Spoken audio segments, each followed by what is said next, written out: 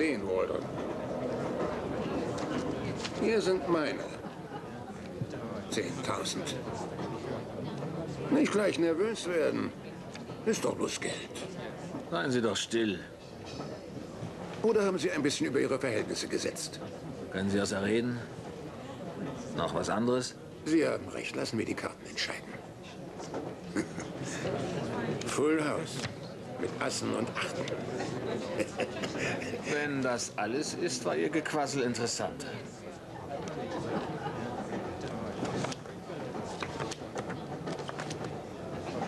Vier Sechsen. Ich hab noch was Besseres. Ruhig bleiben! Feuer. Damit kommen Sie niemals durch. Wer sollte uns denn daran hindern?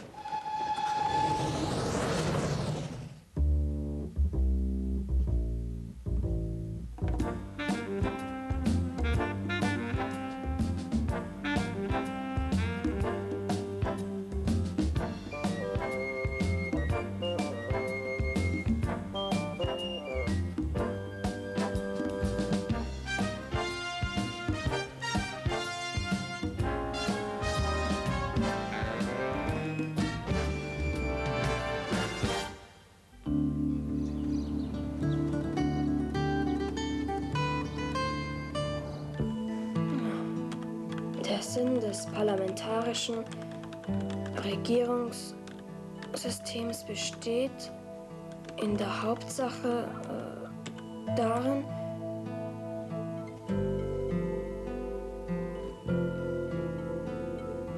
in der Hauptsache darin, mich zu Tode zu langweilen. Sie sind verbunden mit der Lösung Ihrer Probleme. Privatdetektei Grant, Logan und Kompagnon. Dubelko von den Skyline Filmstudios. Es geht um eine äußerst dringende und verzwickte Angelegenheit. also. Könnten Sie mich wohl so schnell wie möglich aufsuchen? Ripley, Gott sei Dank habe ich dich noch erwischt, bevor du gehst. Jeremy hat mich gefragt, ob ich ihm in Mathe helfen kann. Das passt ja großartig. Meinst du, du könntest auch bei ihm zu Abend Ich, essen? ich weiß, ich soll erst meine Hausaufgaben machen, aber was hast du gesagt? Falls Jeremys Mutter nicht erlaubt, dass du mit isst, dann backt er die Pizza auf, die im Kühlschrank ist. Es wird sicher spät. Was wird sicher spät? Äh, weißt du, ich werde heute länger im Büro bleiben müssen. Es ist viel zu tun.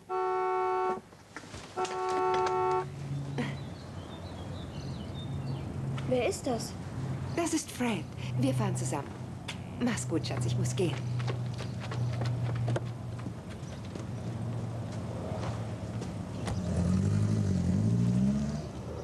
Sparen oder nicht sparen?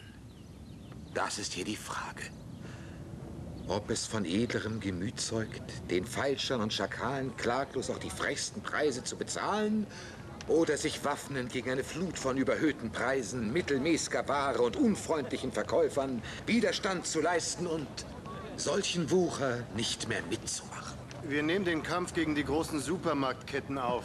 Bei Williams Quickshop bekommen Sie nur ausgesucht frisches Fleisch und Gemüse zu ausgesucht fairen Preisen. Und das ist nicht alles. Treuer Jorik, dein Haupt ist so glatt. Auch du bekämst Williams Rabatt. Danke. So, der ist im Kasten. Ihr könnt schon mal abbauen. Äh, Moment, ich glaube, ich würde es lieber gern noch mal versuchen. Ich, ich meine, der leidenschaftliche Zorn, den Hamlet gegen den Wucher der Konkurrenz hegt, hat man den auch deutlich genug gespürt? Oh ja, klar. Hat es auch glaubwürdig gewirkt? Ja, ja, es war perfekt. Ich könnte die Rolle noch äh, verzweifelter gestalten. Ich kann sehr verzweifelt sein. Glauben Sie mir, es war verzweifelt genug. Sie waren hervorragend. Man dankt. Hast du nicht gesagt, dass Macbeth heute dran ist? Der war schon. Deshalb liebe ich diese kurzen Auftritte so. Ich spiele alle großen Theaterrollen an einem Tag. Ein Morgen, ein Morgen, ein Morgen. Riecht so mit Schneckenschritt von Tag zu Tag. Bis an das Ende allen Zeitenlaufs. Und alle Supermärkte von Williams stehen Tag für Tag zu ihren Diensten. Tja, wenn das so ist, gebe ich dir die Nachricht von den Skyline Filmstudios eben nicht. Skyline Filmstudios? Endlich, endlich ist es soweit. Gordon Dubelko will mich haben. Oh, RIP! Weißt du eigentlich, was das bedeutet? Es bedeutet, dass wir einen Fall haben. Es bedeutet nicht, dass wir einen Fall haben. Es bedeutet, dass ich für eine Rolle bei den Skyline Filmstudios vorsprechen soll.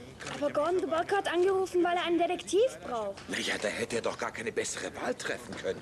Ich bin schließlich die Verkörperung des klassischen Detektivs. Er hat nicht nach einer Verkörperung verlangt. Er will einen Profi. Wir bauen das langsam auf. Zu Anfang ein paar kleinere Filme, damit das breite Publikum sich an mein Gesicht gewöhnen kann. Und dann kommt mein großer Durchbruch, der Knüller. Ich weiß nicht so recht. Dafür weiß ich es umso genauer. Ich meine, Rick, sieh mich doch bloß mal an. Findest du nicht auch, ich bin der ultimative Detektiv schlechthin?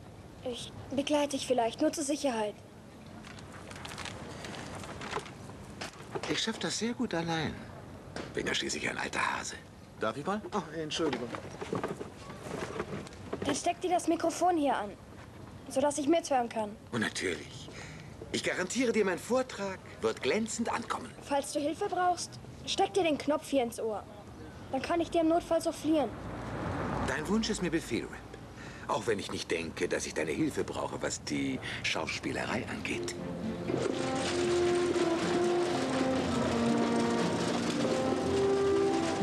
Sie können doch selber rein. Gordy, alter Junge, Sie sehen fantastisch aus. Sie sind schlanker geworden. Kenne ich den Mann? Das ist Grant Logan, Sir. Ah, natürlich. Der Detektiv, den ich angerufen habe. Der ultimative Detektiv. Aber freuen Sie sich nicht zu früh, Gordy. In Bezug auf die Sachen, die ich annehme, bin ich sehr wählerisch. Sie müssen wissen, ich bin ein absoluter Volldofi, Profi.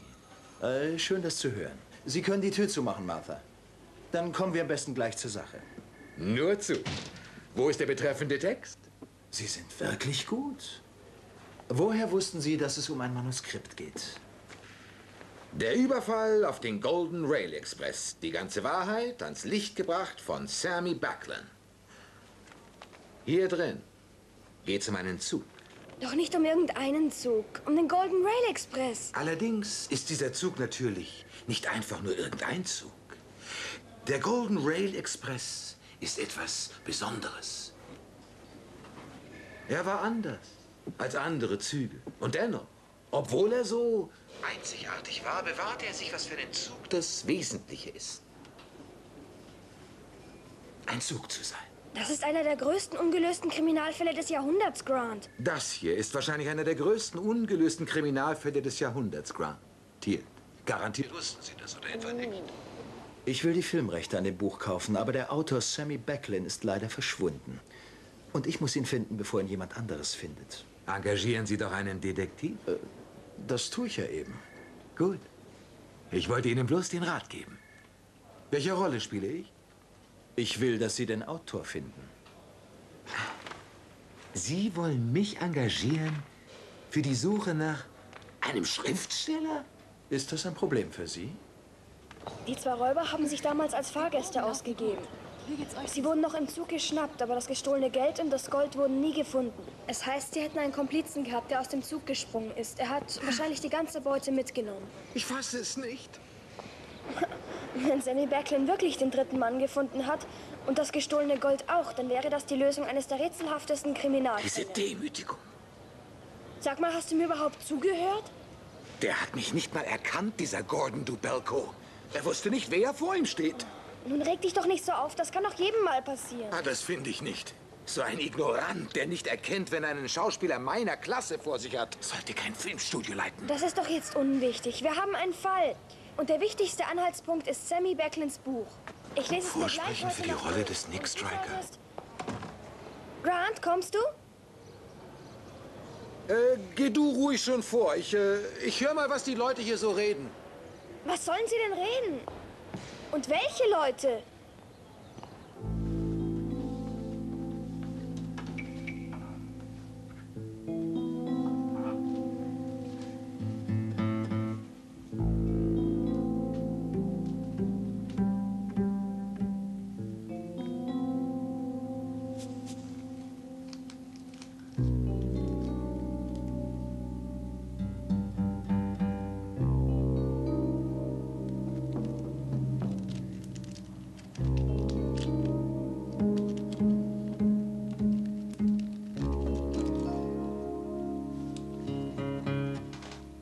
Willst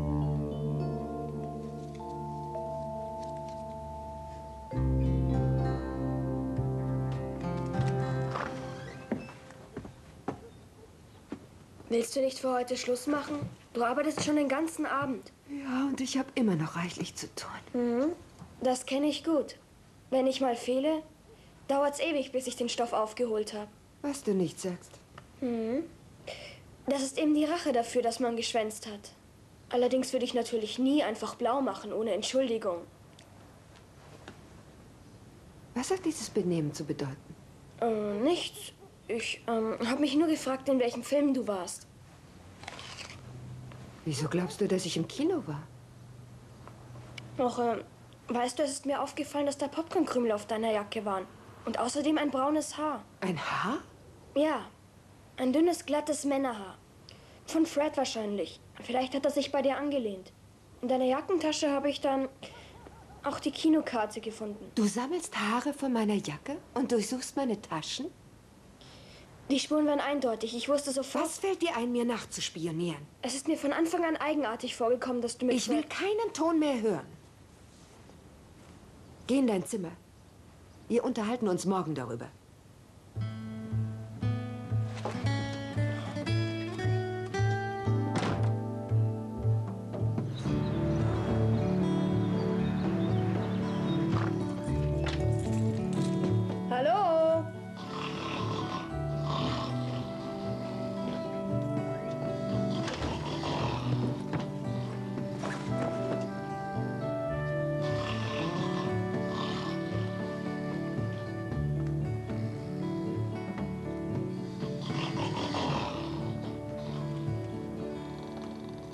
Die zwei Neandertaler in ihren 10-Dollar-Anzügen standen plötzlich vor meinem Schreibtisch.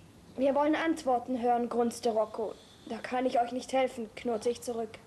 Aber wenn ihr beiden mich ganz nett fragt, dann zeige ich euch, wie man mit zwei Stöcken Feuer macht. Ich warf ihnen ein dünnes Lächeln zu.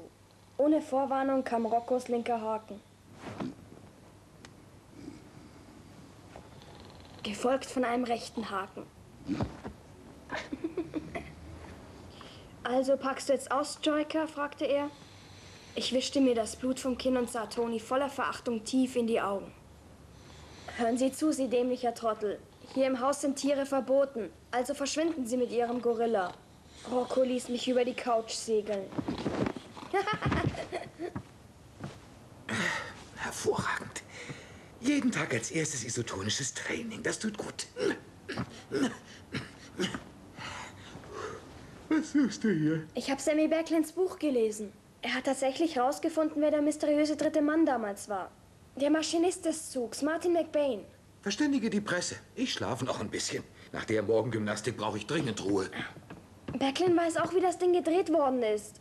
Die Räuber haben die gesamte Beute nach vorne in die Lok geschafft und sich wieder auf ihre Plätze gesetzt. McBain hat dann das Geld und das Gold aus dem Zug geworfen, irgendwo in die Büsche. Er hat es angeblich später vergraben, heißt es. Dann wird er das wohl haben. Jetzt hör doch erst mal zu. Der Zug blieb nach dem Raub noch ein paar Jahre im Einsatz und McBain mit ihm. Nach Backlins Ansicht hat McBain dann nach einer Weile seinen eigenen Tod vorgetäuscht und ist mit dem Geld verschwunden. Na, sieh einer an. Backlin hat ihn aufgespürt auf irgendeiner tropischen Insel. Und unter der Bedingung, dass er niemanden verrät, wo McBain ist, hat der ihm alles erzählt. Vielleicht ist Berglin noch auf der Insel. Ist ja auch schön da. Mach's gut. Verstehst du denn gar nichts? Backlin sagt, er weiß, wo die Beute ist. Das bedeutet, jede Menge Leute werden hinter ihm her sein. Gut. Wenn so viele hinter ihm her sind, wird ihn da wohl bestimmt einer finden, während ich im Bett liege. Also schön, geh ruhig ins Bett und träum von all den wunderbaren Rollen in den großen Filmen, die Gordon de Belco dir gegeben hätte. Wenn's dir gelungen wäre, Sammy Backlin zu finden. Worauf warten wir eigentlich? Ein Autor wird vermisst und kostbare Minuten verstreichen ungenutzt.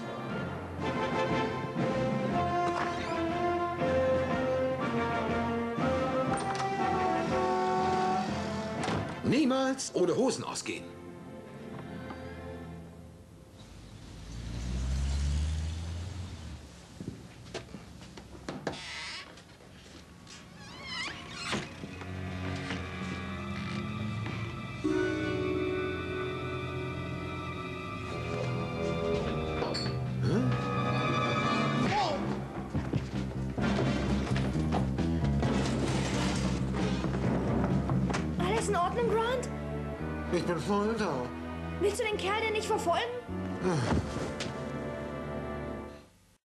Meine schöne Nase. Schau sie dir an. Sie sieht grauenhaft aus. Das ist nur eine kleine Schwellung. Du wirst es überleben. Ja, ich werde es überleben. Aber wer will einen Schauspieler mit Kürbisnase? Du verstehst das natürlich nicht. Ohne sein Gesicht ist ein Schauspieler nichts. Gar nichts.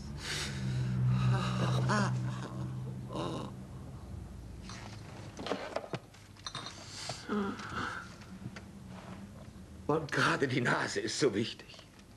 Sie ist es, die der Darbietung eines Künstlers ihren Atem verleiht. Reg dich ab. In ein paar Tagen ist deine Nase nicht mehr geschwollen. Ich muss aber morgen schon vorsprechen. Ja. Das hilft dir gar nichts, dein Auweia.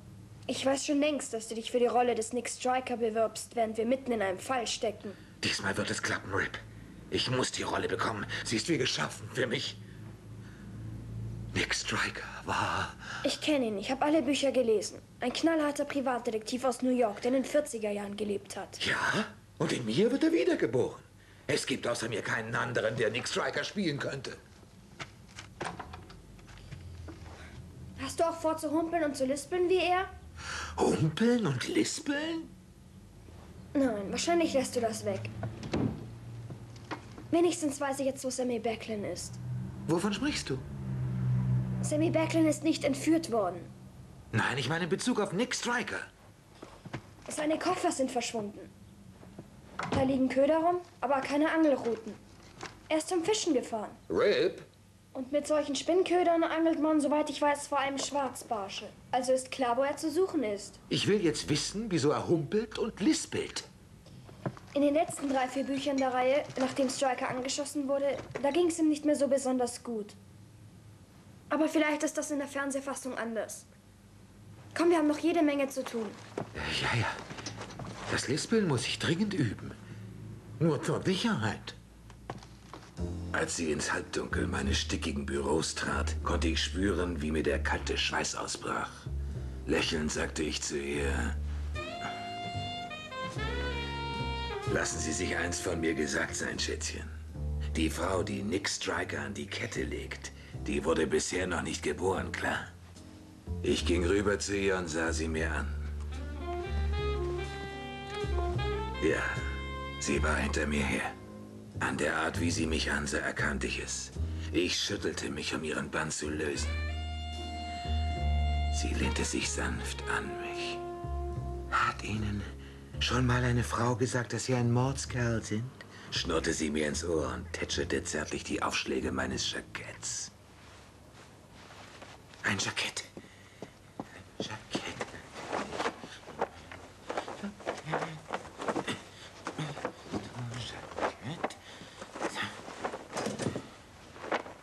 Jackett. Das ist es. So. Ein Jackett. Schön und weiter. Da stand ich nun. 1,90 Meter groß und voller Muskeln.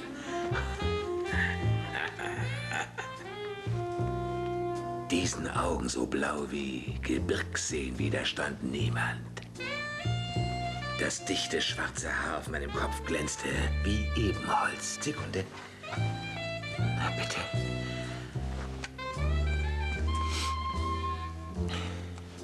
War es nicht ganz natürlich, dass jede Frau die Sehnsucht hatte, gehalten zu werden von diesen starken Armen?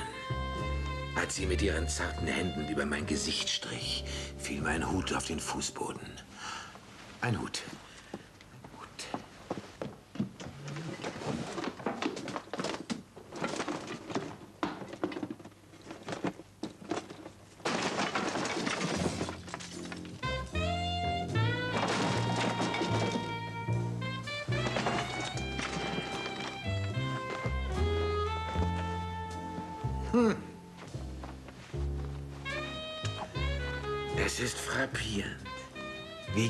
Dieser Mann mich mit seiner Beschreibung getroffen hat.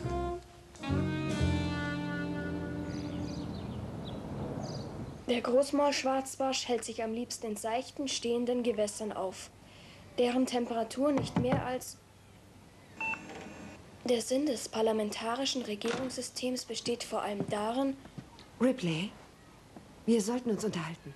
Ach, unbedingt jetzt, Mom. Ich, äh, ich hatte eigentlich vor, diesen Aufsatz zu Jetzt schreiben. komm nicht damit. Du brauchst dafür höchstens eine halbe Stunde und so viel Zeit bleibt dir auch noch nach unserem Gespräch. Ich finde es unmöglich, was du gemacht hast. Das war wirklich nicht fein. Entschuldige.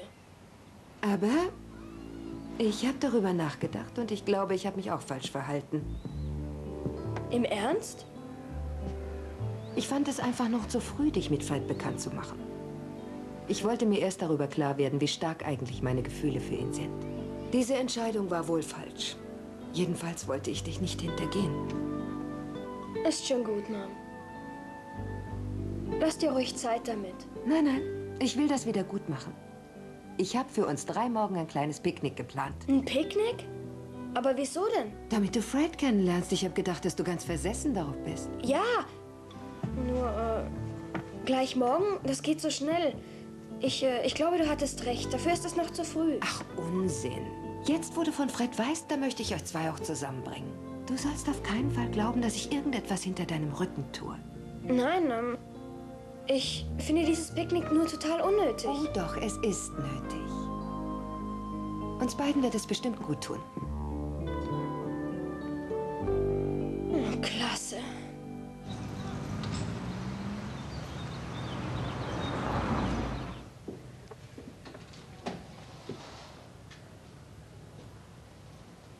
Hallo?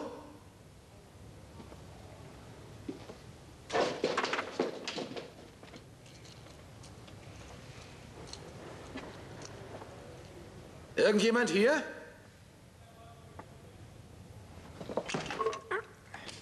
Grant Logan? Äh, ja?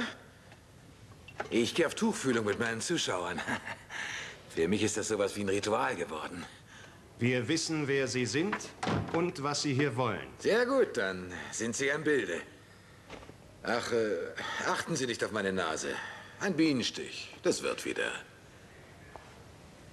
Sollen wir lieber gleich zur Sache kommen oder wollen Sie unsere Fragen beantworten? Ich komme gern gleich zur Sache, wenn Sie so fragen. Durch meinen Auftritt erledigen sich die Fragen von allein. Große Worte. Ehrlich gesagt, ich würde mich gern zuerst etwas warm spielen, wenn es recht ist. In Ordnung. Also, Sie sagen uns jetzt mal schön, was Sie wissen. Und wenn mir nicht gefällt, was ich höre, dann müssen wir leider ernst werden. Wir wollen Antworten hören.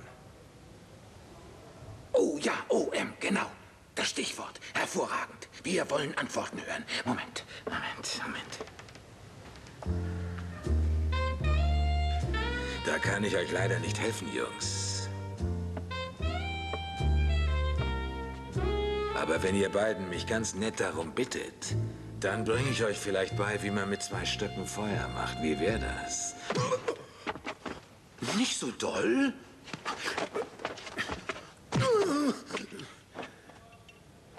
Ist das de- denn nicht ein wenig zu realistisch? Nein, packen Sie jetzt aus? Hören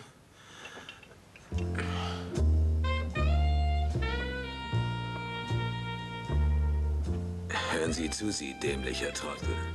Hier bei uns im Haus sind Tiere verboten, also machen Sie und Ihr Gorillamann oberflotten Abgang. Moment, Moment, Moment, Moment, warten Sie doch. Jetzt weiß ich es wieder. Ich ich weiß, was Sie wollen. Sofort. Hören Sie zu, Sie dämlicher Trottel. Hier bei uns im Haus sind Tiere verboten, also machen Sie und Ihr... Haben Sie jetzt genug? Sagen Sie uns endlich, wo wir Becklin und das Gold finden. Sie meinen, Sie sind nicht für die, Sie sind gar nicht für die Besetzung zuständig? Ken, erklär's ihm. Ken und ich, wir sind höchstens für Ihre Beisetzung zuständig. Also, ich will jetzt endlich eine Antwort. Wo ist Sammy Becklin? Wie viele Schauspieler sprechen heute vor, Rhonda? Zwölf auf der Liste, Mr. Sawyer. Die restlichen sehen wir uns dann morgen an. Oh, Vergessen Sie die anderen. Ich bin Ihr Mann. Grant Logan, bekannt von Bühne, Film und Fernsehen. Stimmt mit Ihrem Gesicht irgendwas nicht? Keineswegs. Wieso verbergen Sie es dann? Ah, Ich, äh, ich möchte, dass es morgen, wenn ich vorspreche, noch neu für Sie ist. Äh, bis dahin, äh, adieu. Womit habe ich das verdient?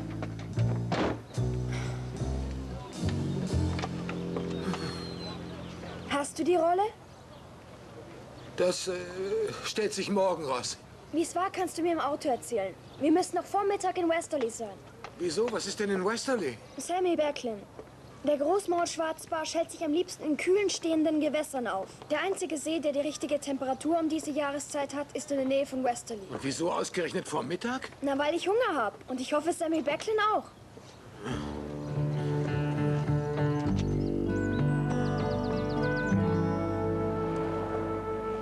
Das ist schauderhaft. Ach komm schon, so schlimm siehst du auch wieder nicht aus. Das meine ich doch gar nicht. Ich meine das Buch. Das ist totaler Humbug. Die brütende Augustsonne leckte über meinen Rücken, als ich mir einen Weg durch den wilden Dschungel bahnte. Jede Schlingpflanze konnte sich als todbringende Mamba entpuppen. Nur die Gewissheit, dass McBain und sein Schatz am Ende dieses langen, qualvollen Weges standen, trieb mich weiter. Du hast recht. Natürlich habe ich das. Autoren taugen zu nichts und wieder nichts. Das habe ich als Schauspieler gelernt. Alle Drehbücher, mit denen ich es zu tun gehabt habe, musste ich überarbeiten. Toll. Kannst du auch mein Leben überarbeiten? Mit Vergnügen. Ich fange mit deiner Garderobe an. Oh, ich muss mich korrigieren. Lieber mit deinem Sinn für Humor. Könntest du mal lachen? Worüber denn? Dass wir die lange Fahrt hier rausgemacht haben, hat nichts gebracht. Und was erwartet mich, wenn ich nach Hause komme? Ein Picknick. Ein Picknick? Mit Fred, dem Freund meiner Mutter. Das ist ja entsetzlich. Oh ja, wir wollen viel lieber allein sein. Ich habe sie quasi gezwungen. Wieso, wenn du gar keine Lust hast, mitzugehen? Sie war irgendwie so anders. Und ich wollte den Grund dafür wissen. Ich hatte auch ganz schnell raus, was dahinter steckt. Sie hat einen Freund. Und jetzt, wo ich's weiß, will sie uns zusammenbringen. Lass dir von einem Mann, dessen zweite Frau drei Pässe auf verschiedene Namen hatte, raten. Versuche nie zu verstehen, was in einer Frau vorgeht. Warum? Am Ende gelingt's dir. Und das ist ein Erlebnis, das man nur sehr schwer verdaut.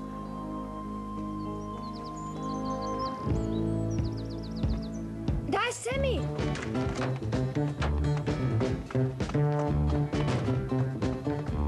Sammy Buckland? Grant Logan, Privatdetektiv.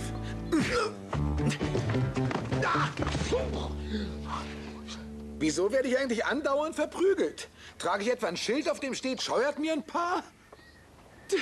Ich, ich habe Ihnen nichts zu sagen. Überhaupt nichts. Sammy Becklin hat geschworen zu schweigen und er wird sich bis an sein Ende daran halten. Warum haben Sie dann das Buch geschrieben? Auf Wiedersehen. Die Skyline Filmstudios schicken mich zu Ihnen. Sie wollen die Filmrechte an Ihrem Buch kaufen. Wieso Filmrechte? Das blöde Geld interessiert uns überhaupt nicht. Aber uns. Danke, dass Sie uns hierher geführt haben. Halten Sie sich raus, dann passiert Ihnen nichts. Danke für den Rat. Ich werde ihn beherzigen, Leute. Du- Los, komm, wir gehen. Hilfe! Mein Vater wird entführt! Hilfe! Die wollen meinen Vater entführen! Helfen Sie uns doch! Hilfe! So helfen Sie uns doch! Mein Vater wird entführt! Also diese Kredithaie. Wie haben Sie mich gefunden? Ein Kind könnte das erklären, so einfach war das. Gott sei Dank habe ich eins dabei. Sie angeln am liebsten Großmaul-Schwarzbarsche. Das erkennt man sofort an ihren Ködern. Und der Kühlschrank hat uns verraten, dass sie am liebsten scharf gewürztes essen. Wodurch übrigens auch ihr ständiges Magendrücken zu erklären ist. Wer ist das? Das ist mein Lehrling, Derby Winthrop. Er darf mir gelegentlich zur Hand gehen, der Kleine. Der Großmaul-Schwarzbarsch beißt nur, wenn es kühl ist. Das heißt frühmorgens oder abends. Zu der Zeit müssten sie am See sein. Und um zum Mittagessen etwas Scharfes zu bekommen, mussten sie zum Inder gehen. Was anderes gibt's hier nicht. Also mussten wir dann nur auf sie warten. Und die beiden Schurken auch. Danke vielmals. Clark Loomis und Desmond Grew. Die zwei waren wegen dem Überfall auf den Golden Rail Express im Gefängnis. Dass Sie die zwei erkannt haben. Ich bin nicht blind, auch wenn ich so aussehe. Aha. Ja, ja. Das dachte ich mir doch gleich. Sag ihm, was das bedeutet, Derby. Sie sind ein Schwindler. Alles, was in Ihrem Buch steht, ist gelogen. Das ist ja wirklich die Höhe. Sie werfen mir vor, ein Schwindler zu sein und der Beweis ist ein Dreckfussel? Das hier beweist zumindest eins. Sie sind äußerst schlampig. Ja, vor allem, wenn es um Geografie geht. Die brütende Augustsonne leckte über meinen Rücken, als ich mir einen Weg durch den Dschungel bahnte. Jede Schlingpflanze konnte sich als todbringende Mamba entpuppen. Erhebende Worte. Stümperhafte Lügen. Mambas leben nur auf der Südhalbkugel und im August ist da Winter. Es war ein warmer Winter. Oh, Sie sind nicht mehr als ein mieser Betrüger. Mich schüttelt es vor Abscheu. Sie Strolch, Sie Unehrenhafter. Marty McBain ist aber wirklich tot, oder stimmt das auch nicht? Doch. Es hat mich drei Jahre gekostet, bis ich begriffen habe, dass der dritte Mann der Maschinist gewesen ist. Und da war er schon tot. Es war alles umsonst. Der Lösung des Rätsels war ich immer noch nicht näher. Und dann haben Sie das Buch geschrieben und die ganze Welt zum Narren gehalten. Mein Leben ist die Hölle. Ständig werde ich von Verbrechern und Schlägern gejagt. Alle hoffen, ich könnte sie zu McBain und seinem Schatz führen. Oh, das ist ja furchtbar für Sie. Sie haben mein Mitgefühl. Wiedersehen.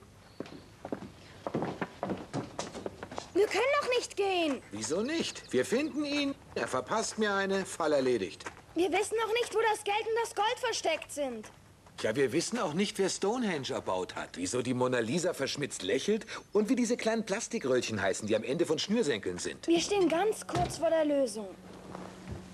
Irgendwann reicht's, verstehst du? Detektiv sein ist nicht alles. Ich will morgen für die Rolle meines Lebens vorsprechen. Und auf dich wartet ein Picknick. Hast du das vergessen? Schön wär's. Du kannst nicht einfach vor deinen Problemen davonlaufen. Das solltest du von dem da lernen. Na komm. Geschwindigkeit des Zuges? Stärke des Stoffs der Segeltuchtasche. Dann kann das Gewicht der abgeworfenen Beute also nicht größer gewesen sein als... Na also. Was ist denn mit dir los? Du solltest um 10 Uhr fertig unten stehen und du hast noch nicht mal deine Schuhe angezogen. Hör mal, es tut mir wirklich sehr, sehr leid, Mom. Mein Aufsatz ist immer noch nicht fertig und, naja, morgen ist schon die Abgabe. Also müsst ihr das Picknick wohl ohne mich machen. Du meinst bestimmt den Aufsatz über das parlamentarische System. Ja, das ist ein echt schweres Thema. Und was ist das hier? Das parlamentarische Regierungssystem von Ripley Hilliard. Ähm, meine Notizen. Glaub mir, er ist überhaupt nicht so schrecklich, wie du denkst. Du musst ihm nur eine Chance geben. Also, wenn die Hilliards nicht zum Picknick kommen, dann kommt das Picknick eben zu den Hilliards. Bitte verzeih uns, Fred. Ähm, das ist Ripley. Ripley, das ist Fred. Ich freue mich. Hallo. Ripley wollte sich in diesem Moment seine Schuhe anziehen.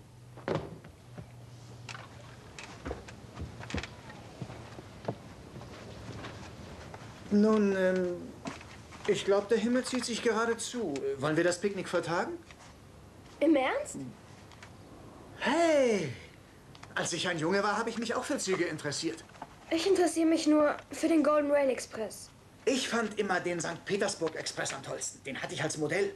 So mit Bahnhöfen, Häusern und allem, was dazugehört. Aber mein bestes Stück war die Lok.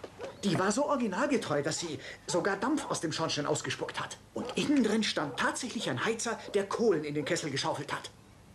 Eine Dampflok. Es war eine Dampflok. Sie hatte auch Laternen vorne. Außerdem hat sie wirklich vollkommen echt Sie sind ein Genie. Vielen Dank, Fred. Also, das hätte doch auch schlechter gehen können. Oder?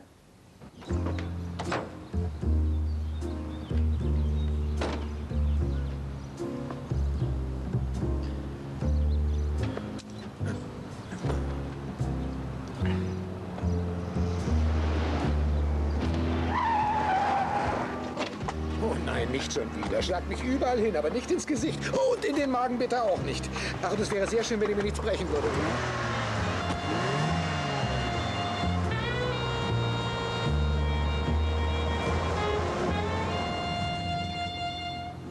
Wo ist Sammy Becklin? In Westerly. Ich zeichne es auf, wenn Sie wollen. Ich könnte Sie auch hinführen. Wir waren in Westerly. Er ist fort. Sie wissen bestimmt, wo er sich jetzt aufhält. Nein, nein, nein, ich weiß es nicht. Ich würde es Ihnen sofort sagen. Ich würde ihn auch festhalten, wenn Sie ihn hauen wollen. Sind Sie ein Spieler, Mr. Logan? Ich bin dreimal verheiratet gewesen. Dann wissen Sie ja, wie es ist zu verlieren. Doch haben Sie jemals das Gefühl genossen, zu gewinnen? Hat Fortuna Ihnen je zugelacht? Offen gestanden habe ich mich schon oft gefragt, wo die Dame steckt. Vor 30 Jahren habe ich ein Vermögen in Gold gewonnen. Aber jemand hat es gestohlen, bevor ich es an mich nehmen konnte. Ach, wirklich? Naja, wie gewonnen, so zerronnen. Bedauerlicherweise muss ich mich jetzt verab...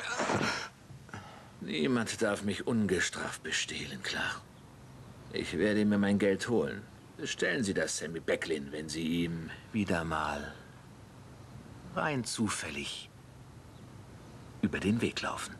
Oh, selbstverständlich, aber gerne doch. Hm.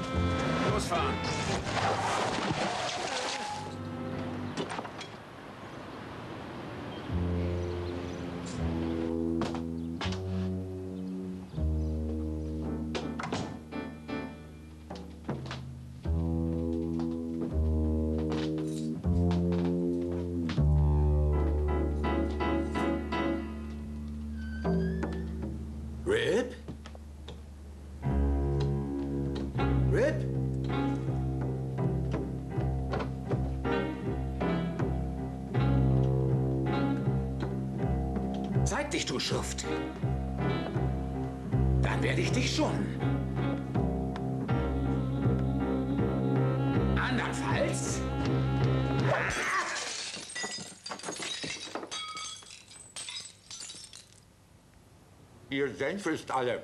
Was soll das? Was machen Sie hier? Ich esse, wenn auch nicht besonders gut.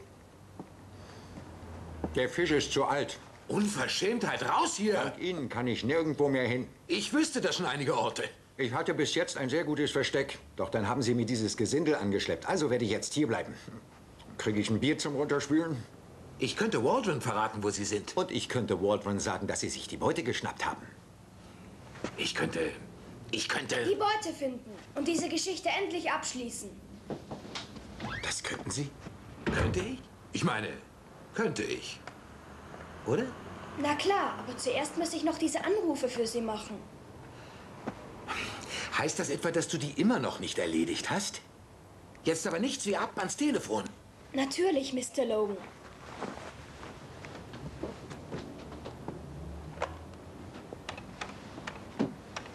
Und wo ruft er jetzt an? Das würden Sie wohl gerne wissen, hä? Nach jener schicksalhaften Fahrt sollte der Zug außer Dienst gestellt werden. Dank seiner großen Beliebtheit blieb der Golden Rail Express jedoch noch zehn Jahre in Betrieb, bevor er abgeschafft wurde. Der Überfall jedoch ist bis heute ein ungelöstes Rätsel. Ich kenne die Geschichte. Schließlich habe ich das Buch geschrieben, mein Junge. Hier finden wir jedenfalls nichts. Außer der Beute natürlich. Die hat den Zug nämlich nie verlassen. Vollkommen unmöglich. Bei der Fahrtgeschwindigkeit hätte es eine mit Gold gefüllte Segeltuchtasche, die man aus dem Zug wirft, zerfetzt. Und der Inhalt wäre entlang der Gleise verstreut worden. Das ist doch offensichtlich, oder nicht? Aber hier im Zug kann das Gold nicht sein. Wieso nicht? Weil alle Waggons und auch die Lokomotive direkt nach dem Raub untersucht worden sind. Und zwar von Experten. Jeder Zentimeter des Zuges. Sie haben nichts gefunden, genauso wenig wie alle anderen, die seitdem hier waren. Ach so. Und das sagt uns? Dass sie dummerweise das einfachste Versteck übersehen haben. Das ist ja meine Rede. Klingelt's jetzt? Nein. Zeig ihm, worauf wir gestoßen sind.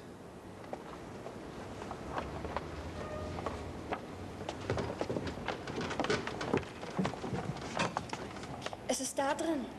Da drin? Das da, glaubt ihr, ist das geniale Versteck? Während des Raubs hatte der Zug seine volle Reisegeschwindigkeit drauf. Der Ofen brannte auf höchster Stufe. Das Geld wäre verbrannt. Das ist korrekt. Also wieso soll es einer dort hineinwerfen? Hm? Die Antwort ist ganz einfach. Er wollte, dass es verbrennt. Er wollte, dass es verbrennt. Welcher Irrsinnige kommt denn auf so eine Idee? Nur ein Bursche, der genial ist. Hm? Es war bloß eine rhetorische Frage. Ah.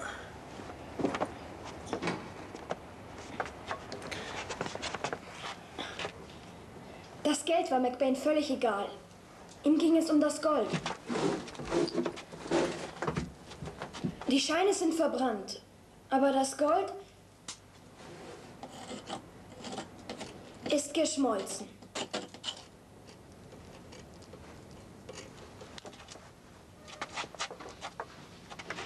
So. McBain dachte, er bräuchte sich das Gold hinterher bloß zu holen.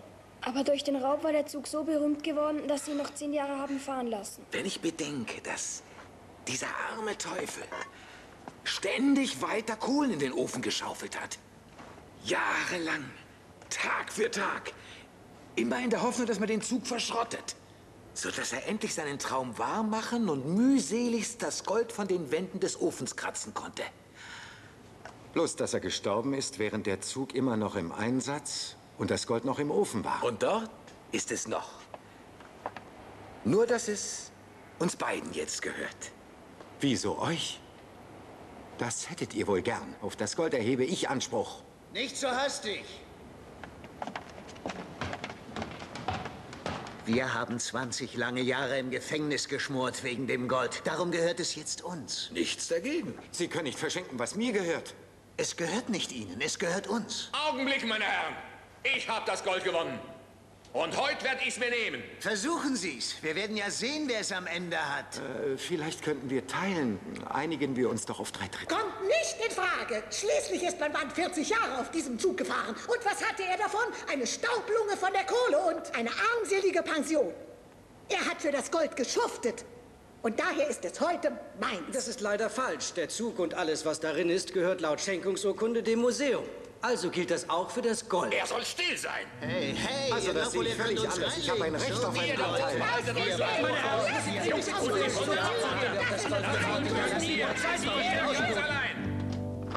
Hast du die alle dahin bestellt? Die und noch andere. Als wir gegangen sind, habe ich gesehen, wie zwei Herren von der Versicherung aus dem nachgebauten Gepäckwagen gestiegen sind, der da rumsteht. Aber was sollte das? Auf die Weise haben wir das Gold nicht gekriegt. Die haben uns doch von Anfang an beobachtet. Egal, was wir getan hätten, das Gold hätten wir auf keinen Fall rausschaffen können. Und du solltest froh sein. So hast du nicht schon wieder eins auf die Nuss gekriegt. Auch wieder wahr.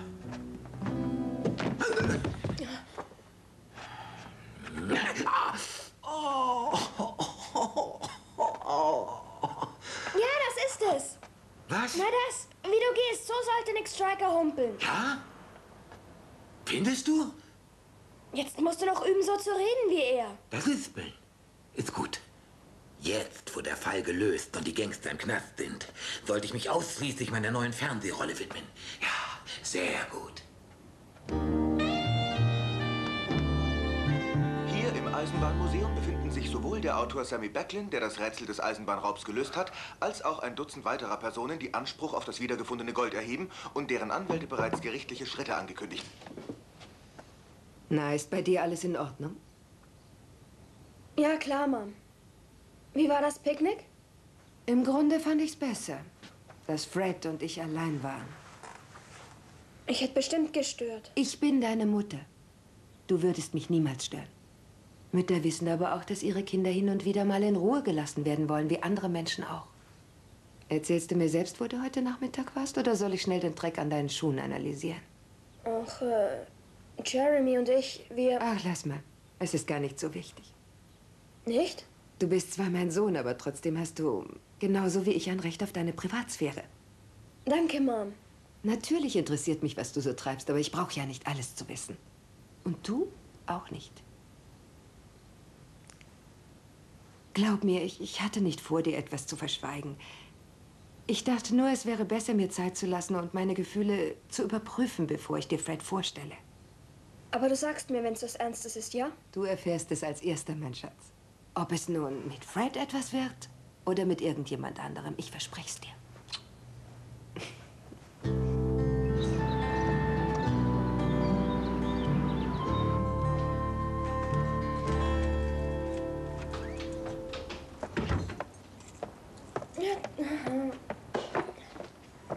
Ist es nicht einfach herrlich? Wieso? Was denn? Wir haben einen der größten Kriminalfälle des Jahrhunderts gelöst. Und der gute Sammy Berklin lässt sich dafür feiern. Und Mom ist mit ihrem neuen Freund Fred unterwegs, sodass ich tun und lassen kann, was ich will. Dann hast du ja wieder mal Gelegenheit, andere Leute zu piesacken.